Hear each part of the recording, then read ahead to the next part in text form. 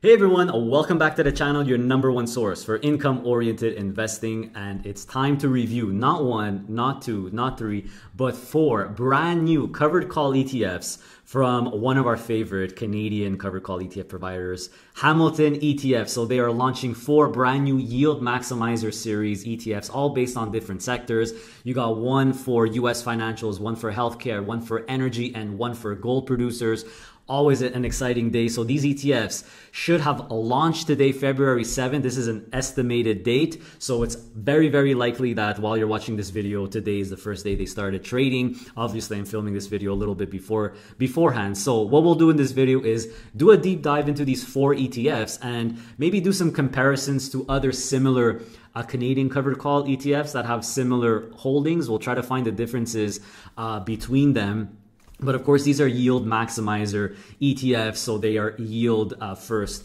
covered call ETFs, which this channel is all about. So let's check out these four ETFs together. Then we'll quickly discuss some pretty big news happening for HYLD and HDIV, Hamilton's all-in-one leveraged covered call ETFs, because we've got some big news on that front, which of course is related uh, very much so to these four uh, brand new yield maximizer ETFs. So a lot to get to. Let's get started.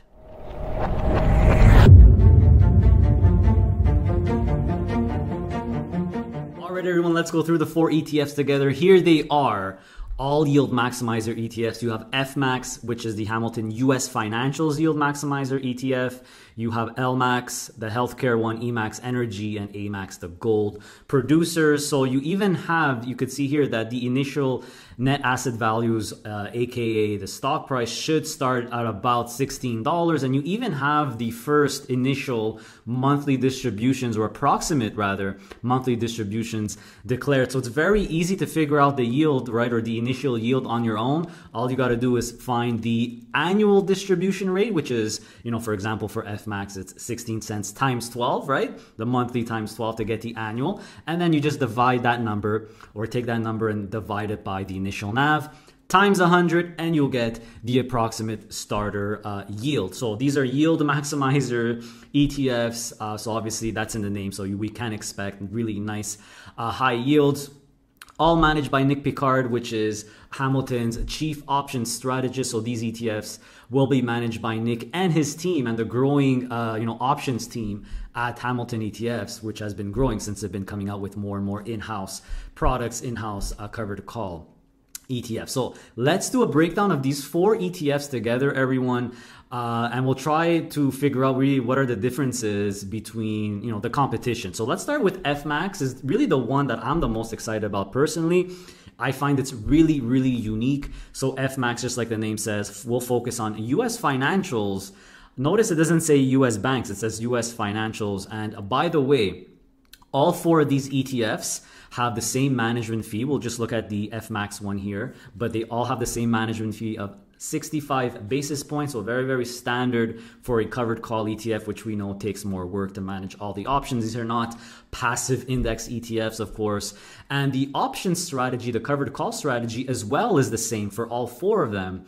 So as we know, yield maximizer, Hamilton ETFs, uh, you know, very unique in that they do at the money calls, uh, which means higher cash premiums. But when you do at the money calls, you do give up uh, all the upside based on the percentage that you write. But all of these do write options on about 30% of its holdings. So yes, they're at the money calls, but the coverage ratio is not that high at 30%, which means at least 75, 70% rather, not 75, 70% of the portfolio does not have any covered calls on it. So it will appreciate, will appreciate or do whatever the stocks inside the portfolio do. And keep in mind, guys, you see the approximate signs. This is, Hamilton does have an active covered call approach, which means that these could change, but the uh, you know 30% at the money or at the money on 30% of the holdings is basically in normal conditions. They can it, it, could vary based on conditions as well. So very important to point out this is you know Hamilton does have an actively managed uh, approach when it comes to their covered calls, but definitely yield first, right? At the money, you get a lot more premium. Definitely a lot of yield here, but you do get a lot of growth potential as well. So all four ETFs will have uh, this covered call strategy. So What's so special about the financials yield maximizer ETF? There's a lot of you know U.S. bank covered call ETFs on the market. Well, what really struck me the most right away are the holdings. So the the the, the uh, holdings are here already, or should I say, the indicative holdings as of February the 7th here when the uh, ETF is scheduled to start trading. So if we go through it, it's not just the the big banks, which of course are there like JP Morgan, Bank of America, Wells Fargo, et cetera, et cetera, Goldman Sachs, but you also have things like Berkshire Hathaway. I really love that you have all three credit card companies in here, Visa, MasterCard, and American Express. You also have uh, asset managers like Blackstone and BlackRock. I really, really like that some insurance companies, some like Progressive, Marsh and McLennan. The, I mean, I actually had to look some of these names up because I didn't know what companies there were, like this one here and Fiserv and CME, Intercontinental Exchange. You have also S&P Global. So these guys manage, you know, S&P Global manages the S&P indexes, for example, and you got some companies that manage exchanges. So really a nice mix of US financials here, all kinds of financials, not just the banks, which, you know, there's an advantage in that. And by the way, 25 companies all equal weighted. So I find that's really interesting. Uh, definitely, in my opinion, better than just, well, I wouldn't say better, but I would, how could I say this? Less cyclical than just having just US banks, right? If you have just the US banks, obviously there's, it's a very cyclical sector, but if you throw in some uh, you know things like Berkshire Hathaway, which is really a holding company, and credit card companies, asset managers, and, and exchanges, things like that. You make the ETF less cyclical than a pure U.S. bank covered call ETF, like uh, a competitor like ZWK which if you look at the holdings everyone it's just the banks right it's it's just banks you, obviously you have bank of america jp morgan wells fargo but also some more regional mid-level banks here so uh, same thing when it comes to call. Another us banks covered call etf it just has the banks here. If you look at the holdings uh, you'll see you know 15 16 holdings just the bank. So I, I thought you know fmax very very very unique in the fact that it's more diversified. So there's less it's less cyclical. You have a lot of great stuff here not just the us banks although they're in there as well LMAX, moving on to the healthcare one. So the healthcare one here has uh, 25 healthcare companies, all equal weight as well. You'll recognize a lot of them. So these are, you know, there's typically very similar, always the same companies in the healthcare space. You're gonna, you're gonna, you know, shouldn't be a surprise when it comes to the holdings. Uh, and again, same, you know, same management fee, 65 basis points, same covered call uh, strategy as well here. So what makes this one uh, unique is that it has 25 holdings. It's also equal weight if we actually compare it to the king uh, in terms of AUM. HHL. HHL has been around for almost 10 years. It has 1.5 billion. It's the biggest by far healthcare covered call ETF. And the biggest difference I notice is that number one, HHL has 20 companies. LMAX has 25, a lot of the same companies, of course, but it's really the management fee, right? 65 basis points HHL does have slightly higher management fee of 85 basis points, so that's 20 basis points higher than LMAX. So that's definitely a, a big difference. Um, but yeah, the Hamilton Healthcare, they're going to have their own healthcare ETF here, which is great. Uh, moving on to the energy one, EMAX. So if we look at the holdings for this one, and again, I, know, I know I'm repeating myself, same management fee, same covered call strategy. If we look at the holdings, it's about 75 US, 25% Canada.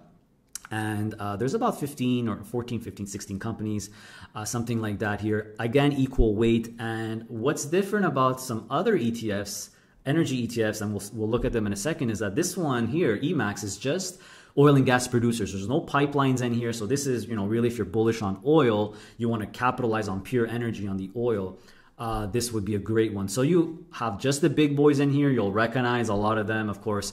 Canadian Natural, Suncor, the two biggest oil and gas producers in Canada, Cenovus, uh, and uh, Tourmaline as well. But then you have really uh, all the rest are pretty much uh, US. So you have mostly US here Exxon, Chevron, and a lot of other ones you'll probably recognize. So just oil and gas producers here, mostly in the US. And if we compare that to a big one, ENCC. Uh, from Horizons ETFs, this is only Canadian companies. There's 10 in here. And there's also the pipeline. So there's six oil and gas producers. Uh, Suncor, Canadian Natural, Tourmaline, Cenovus. Those four companies are also in EMAX. But there's Enbridge, Pembina, there's Keyera, So you got four at NTC. There's four uh, pipeline companies, six oil and gas producers in ENCC, and it's only in Canada. Whereas Emax has only oil and gas producers, and it's mostly in the US. And we know that US stocks tend to have uh, better options, liquidity. So this is definitely one to consider if you really want capitalize. If you're bullish on oil, oil prices, this is probably going to move higher if oil prices rise than ENCC because it has uh, pipelines as well. So that's really the main difference uh, I noticed between Emax and um, ENCC from Horizons. Uh, moving on to AMAX. So AMAX is your gold producers. When it comes to gold producers, everyone, you got the big boys. Everyone should recognize a lot of these: Barrick, Newmont, Royal Gold, Goldfields, etc., etc. Franco Nevada, Wheaton. So uh, nothing super unique with this one in terms of holdings.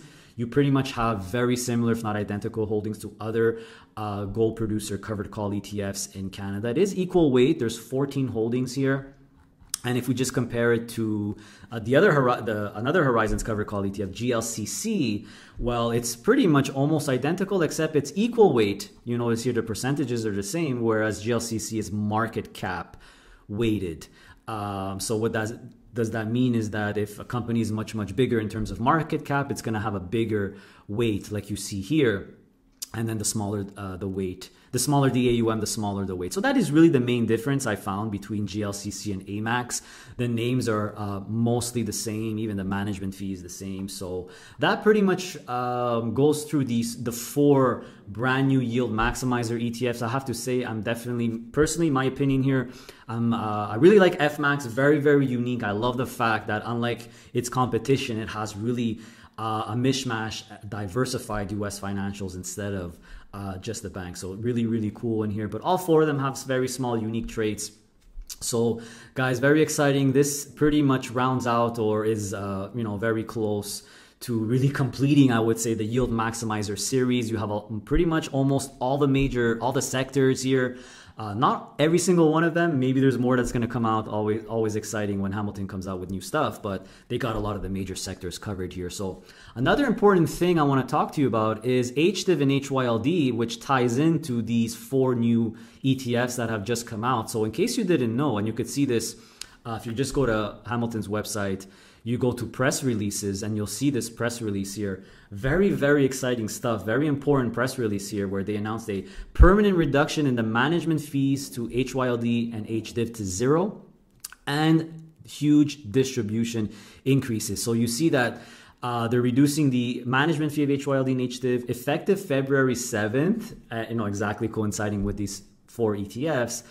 Um, and they're saying that they're basically done so because they're internalizing or they they plan to complete the internal internalization of the holdings of HDIV and HYLD. They've also increased the distribution. So it, it's really uh, not um, rocket science to understand why. So if you look at HYLD in the latest uh, holdings, uh, you see that there are, as of, and I'm filming this on February the 2nd, there's still some third party ETFs in here, things that are not managed by Hamilton, like JEPI, JEPQ, HHL, RYLD, GLCC, and XF. So what they're basically saying is that by the 7th, they're internalizing everything. So we could assume that all these third-party ETFs are going to be kicked out and replaced with all Hamilton yield maximizer ETFs, which they, you know, they've done most of it already. So we could expect JEPI, JEPQ to be, and RYLD to be kicked out. Uh, HHL is going to be kicked out. Now that LMAX is there, they'll probably swap HHL for LMAX.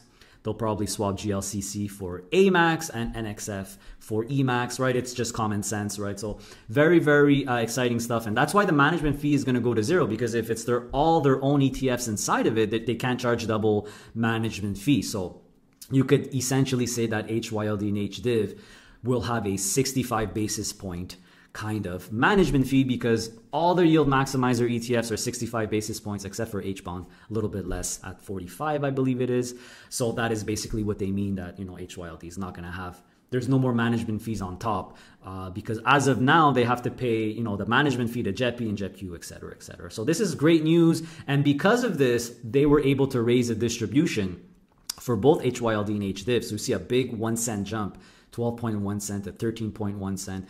And the same thing is going for uh, HDIV. It also increased the distribution from 14.1 to 15.1 starting in February for the February one.